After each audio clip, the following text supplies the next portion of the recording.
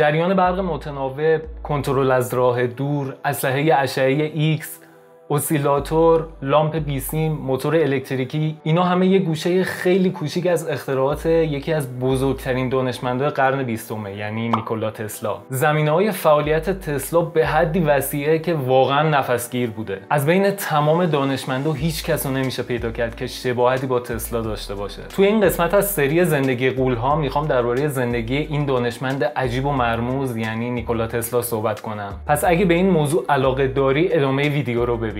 در ضمن اگه از این جور محتوا خوشت میاد دکمه subscribe پایین ویدیو رو بزن و عضو کانالم شو.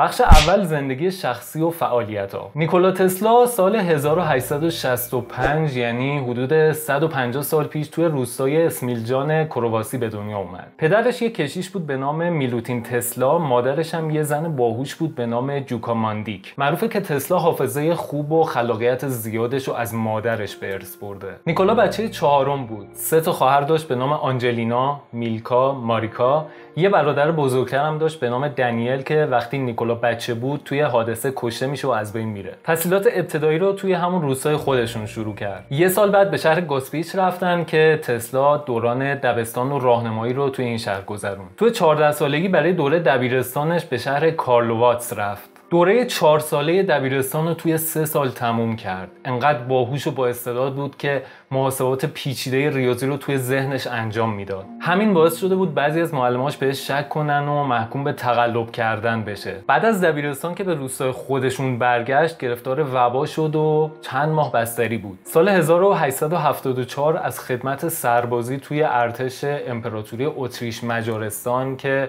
روستاشون هم جزو همین امپراتوری بود فرار کرد و رفت یه منطقه کوهستانی به نام تومینگاژ تو سن 19 سالگی وارد دانشگاه گراتس اتریش شد. دو سال اولو با نمره‌های خیلی عالی گذروند و حتی رئیس دانشگاه برای پدرش تقدیرنامه فرستاد. اما کم کم به خاطر قمار هزینه‌های زندگی و شهریه دانشگاهش رو از دست داد و مجبور به ترک تحصیل شد. تا یه مدتی مشغول به قمار و کارهای مختلف بود تا اینکه از طرف پلیس دستگیر میشه و برش میگردونن به همون شهر گازپیچ. اونجا تسلا شروع به تدریس توی همون مدرسه ای کرد که خودش اونجا درس خونده بود. یه سال بعد از طرف امواش یه کمک مالی بهش داده شد تا برای ادامه تحصیل به شهر پراگ بره. اما اونجا هم به دلایل مختلف نتونست درسش رو تموم کنه و مدرکش رو بگیره.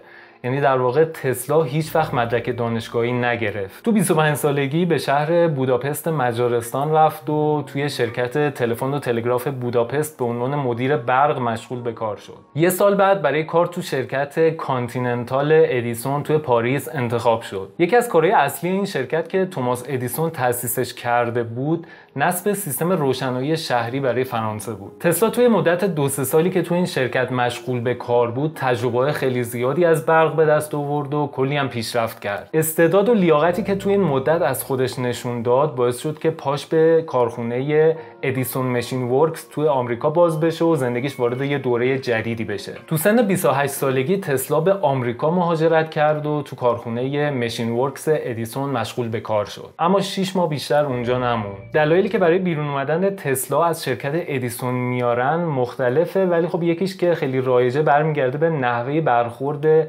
یه دانشمند مغروری مثل ادیسون با یه جوون با استعدادی مثل تسلا. ادیسون از همون اول با طرح تسلا در مورد برق جریان متناوب مشکل داشت و فکر می‌کرد که برق مستقیم خودش بهتره. از طرفی ادیسون یه پیشنهاد به تسلا میده که اگه بتونه فلان تغییر رو توی موتورها ایجاد بکنه و اصلاحشون بکنه یه پول خیلی خوبی بهش میده. اما وقتی که تسلا این کار رو توی یه مدت خیلی کم انجامش میده ادیسون زیر حرفش می‌زنه و میگه که شوخی کردم. تو مثل اینکه اصلا درک درستی از شوخی های ما آمریکایی‌ها نداری. همین باعث دلسردی تسلا میشه و از شرکت ادیسون بیرون میاد. این اختلافات بعدا به یه سری جنگ و دعوایی طولانی کشیده شد که بهش میگن جنگ جریان ها یعنی جنگ بین جریان متناوب تسلا یا AC با جریان مستقیم ادیسون یا دیسی جریان متناوب اگه بخوام خیلی ساده بگم همون برقیه که الان توی سیمکشی خونه ها استفاده میشه.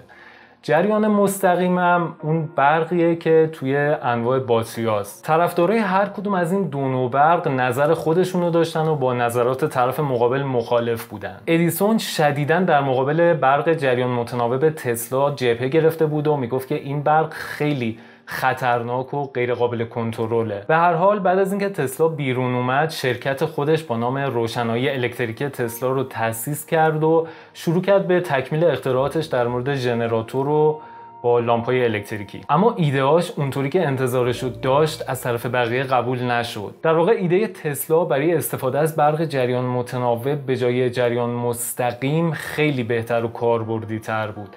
ولی به هر حال سرمایه‌گذارا زیاد ازش استقبال نکردن. این موضوع باعث شد که وضع مالیش خیلی خراب بشه و برای گذروندن زندگیش مجبور به کارهای خیلی پستر مثل تعمیرات وسایل الکتریکی یا حتی کندن گودال بشه. تسلا از اون دوره از زندگیش که تقریبا سی سالگیش میشه به عنوان روزای خیلی سختی یاد کرد و نوشت. تحصیلات بالای من در شاخه‌های مختلفی از علوم مکانیک و ادبیات به نظرم بیهوده و مسخره میآمد. یه سال بعد تسلا با دو نفر که تجربه خیلی خوبی توی تاسیس شرکت و ثبت اختراع داشتن آشنا شد و با هم یه شرکت به نام تسلا الکتریک تأسیس کردن. قرارشون این بود که از سودی که به دست میارن یک سومش به تسلا برسه یک سومش به اون دو نفر برسه یک سومش هم بشه بودجه شرکت. تسلا طرح موتور الکتریکی خودش که با برق AC کار می‌کرد و تکمیل کرد و یه سال بعد تونستن یه قرارداد با ارزشی با یه شخصی به نام جورج وستینگ هاوس ببندن. وستینگ هاوس خودش یه مخترع و مهندس برق بود که از رقیبای سرسخت ادیسون هم بود. غیر از این تسلا ماهی 2000 دلار هم بابت مشاوره دریافت کرد. این پولا با درآمدهای دیگه که نصیب تسلا شد باعث شد که حسابی پولدار بشه. برای همین خودش به صورت مستقل آزمایشگاه خودش رو راه اندازی کرد و شروع به تحقیق و اختراع کرد. بعد از این تسلا وقت و انرژی زیادی روی لامپهایی گذاشت که به صورت بیسیم روشن می شدن موفقیت هم توی این زمینه داشت اما خب هیچ وقت به تولید تجاری نرسید. سال 1892 تسلا نایب رئیس انجمن مهندسان برق آمریکا شد که امروز به نام IEEE میشناسیمش. سال بعد وستینگ هاوس یه قرارداد بست برای تامین برق از آبشار نیاگارا که برای تسلا هم موفقیت های زیادی داشت. سیستم برق AC تسلا توی این پروژه حسابی جواب داد و تو کل دنیا معروف شد. اما یه اتفاق تلخ باعث شد که این خوشی ها خیلی زود تموم بشه. مارچ 1895 یه آتیش سوزی بزرگ توی آزمایشگاه تسلا توی نیویورک اتفاق افتاد که تموم ساختمون رو تقریبا نابود کرد. این قضیه هم از نظر روحی ضربه خیلی بزرگی برای تسلا بود هم از نظر مالی. تمام ابزارا و اختراعات نیمه کارش که کلی براشون زحمت کشیده بود با خاک یکی شد و از اون طرف هم چون آزمایشگاهش بیمه نبود کلی ضرر مالی کرد. ممکنه این آتیش سوزی برگرده به همون قضیه جنگ جریان ها که قبلا گفتم. یعنی شاید مخالفای تسلا که از طرفدارای ادیسون مایه‌دار بودن برای متوقف کردن طرحهای موفق تسلا این آتیش سوزی رو عمدن راه انداخته باشن. اما این قضیه هیچ وقت ثابت نشد. به هر حال تسلا باید خیلی زود دنبال سرمایه‌گذارهای جدید میگشت تا پولی که برای اختراعات جدیدش نیاز داشت فراهم بشه. اما با وجود تلاش زیادی که کرد کسی حاضر به سرمایه‌گذاری توی پروژه های بلند پروازانه تسلا نشد. انگار این ایده ها خیلی جلوتر از زمان خودشون بودن. کسی نمی‌تونست درست درکشون کنه. سال 1898 یه قایق کنترل از راه دور اختراع کرد که با امواج رادیویی کنترل می‌شد. تسلا خودش فکر می‌کرد با این فناوری کنترل از راه دور می‌تونه پول خوبی به دست بیاره. ولی خب متاسفانه اینطوری نشد. چون هنوز ذهن مردم اون زمان مطمئن نبود که چقدر میشه به این قایق اطمینان داشت. اما چیزی که بیشتر از همه ذهن این دانشمند نابغه رو به خودش مشغول کرده بود انتقال برق به کل دنیا به صورت بیسیم بود. از نظر تسلا می‌شد برق و از طریق زمین یا هوا منتقل کرد بدون نیاز به کابل کشی. پس برای اینکه بتونه آزمایشاتش رو راحت تر پیش ببره از نیویورک رفت به یه منطقه دورافتاده توی کلرادو سپرینگز. اونجا تونست با خیال راحت و بدون مزاحمت آزمایش های بزرگی انجام بده. با ساختن یه فرستنده بزرگ جرقه‌های الکتریکی بزرگی به سمت آسمون میفرستاد تا بتونه انتقال برق از طریق جو و آزمایش کنه. برای انتقال برق از طریق زمین هم آزمایش مختلفی انجام داد. از نتیجه این آزمایش ها تسلا تقریبا به یه اطمینانی رسید که ایدهاش قابل پیاده سازی هن. برای همین سال 1900 دوباره برگشت به نیویورک. چیزی که توی ذهنش بود یه برج بلند بود به نام برج واردن کلیف. این برج که بهش برج تسلا هم گفته میشه توی یکی از روستایی اطراف نیویورک ساخته شد. در اصل یه ایستگاه انتقال بیسیم بود که قرار بود ازش برای انتقال امواج به فاصله های خیلی دور استفاده بشه. اما بازم به خاطر مسائل مالی و اینکه پول کافی برای تکمیل پروژه وجود نداشت سال 1906 به صورت نیمه کاره رها شد و هیچ وقت عملی نشد. در نهایت ده سال بعد تسلا مجبور شد برای تصویه بدهیاش برج رو تخریبش کنه و آهنالاتش رو بفروشه. اینجوری شد که آرزوی تسلا برای انتقال بیسیم برق نابود شد. اینجا تسلا تقریبا 50 سالش شده بود.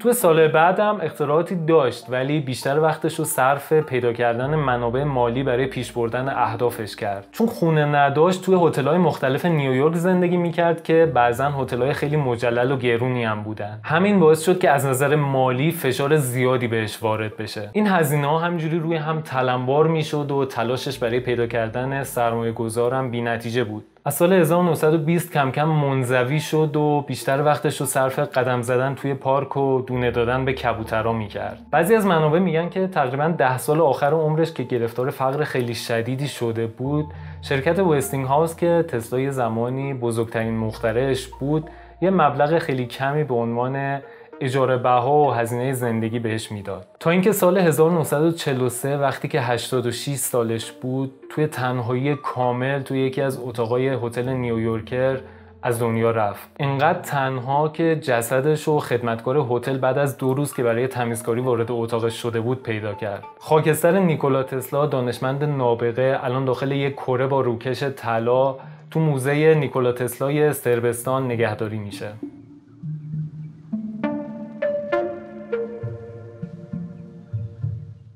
اینطور که آدمای نزدیک به تسلا دربارش میگن یه آدم قد بلند و لاغر بود که به وضعیت ظاهری و لباسهای خودش اهمیت خیلی زیادی می‌داد و یه جنتلمن به تمام معنا بود. روی نظافت شخصی و برنامه روزانش خیلی حساس بود. این حساسیت رو حتی روی اطرافیانش هم بعضی وقتا نشون می‌داد. خیلی کم میخوابید و بیشتر اوقاتش رو توی تنهایی میگذرون. تسلا حافظه تصویری فوق ای داشت. قبل از اینکه اختراعش رو پیاده سازی کنه با جزئیات کامل توی ذهنش میدیدش و مجسمش می‌کرد. بعد شروع به پیاده سازیش می‌کرد. به خاطر همین یادداشت‌های خیلی کمی داشت و همه چیز رو توی ذهنش حفظ می‌کرد. تو میانسالی با مارک تواین نویسنده معروف دوست صمیمی بود و زمان زیادی رو با هم توی آزمایشگاه تسلا میگذروندن. به چند تا زبون مختلف می‌تونه صحبت کنه. از جمله انگلیسی آلمانی فرانسوی ایتالیایی لاتین. چندین بار دچار مریضی های مختلف شد اما همیشه از دکترا فراری بود. یه چیزی که خودش چند بار ازش صحبت کرده اینه که گهگاهی نور خیلی شدیدی می‌دید و همزمان یه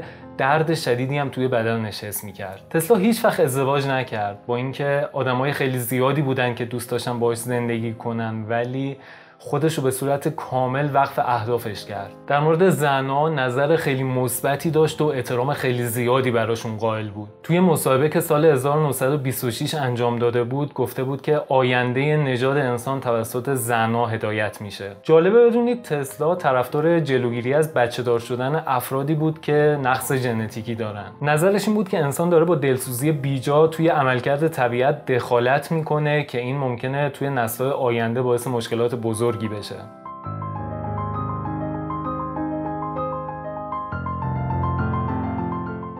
شکست ها و اشتباهات. زندگی تسلا پر از شکست های بزرگ بود. اما خب تا وقتی که شکستی نباشه موفقیتی هم نیست. یکی از بزرگترین شکست های تسلا به نظرم همون بزرگترین آرزوش بود. یعنی انتقال بیسیم برق به کل دنیا. البته شاید دقیقا نشه بهش گفت شکست. چون اگه منابع مالی کافی براش پیدا می‌شد تسلا کسی نبود که از نظر علمی و فنی کم بیاره. مشکل اصلی این بود که پول نبود. چون برای پیاده کردن یه طرحی به این بزرگی نیاز به کلی آدم و محل مناسب و کلی چیزهای دیگه هست که پول زیادی میطلبه. شاید اگه ادیسون خودخواهی و غرور علکیش رو کنار میذاشت و با تسلا همکاری می‌کرد دنیای امروز ما کلا یه جور دیگه بود. البته ادیسون اواخر عمرش گفت که یکی از بزرگترین اشتباهات زندگیش بها ندادن به ایده تسلا بوده. یکی دیگه از شکست های تسلا رادیو بود. قبل از اینکه سال 1901 مارکونی رادیو رو به نام خودش ثبت کنه سه چهار سال قبلش یعنی سال 1897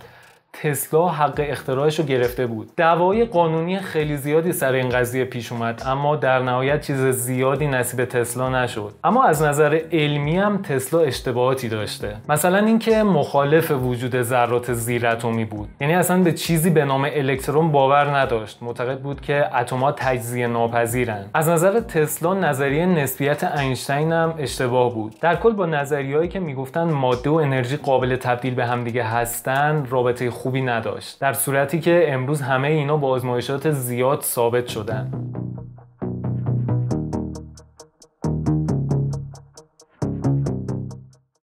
شاید نیکولا تسلا پسر نور یه کمی زود به این دنیا اومده بود. ایدهاش انقدر بزرگ بود که حتی توی سرزمین فرصت ها یعنی آمریکا هم سرمایه گذار زیادی براشون پیدا نمی‌شد. معمولا به دلایل مالی به شکست میخوردن. یه حرفی که زیاد گفته میشه اینه که وقتی که از اینشتین می‌پرسن چه حسی داره که باهوشترین آدم روی زمین باشی اینشتین جواب میده که من نمی‌دونم از نیکولا تسلا بپرسید اما خب من هرچی گشتم منبع معتبری برای این حرف پیدا نکردم. اگه این ویدیو رو دوست داشتی لایک فراموش نشه. منتظر نظرات عالی همتون هستم. مثل همیشه بدون ترس سوال بپرس و دنبال جواب باش.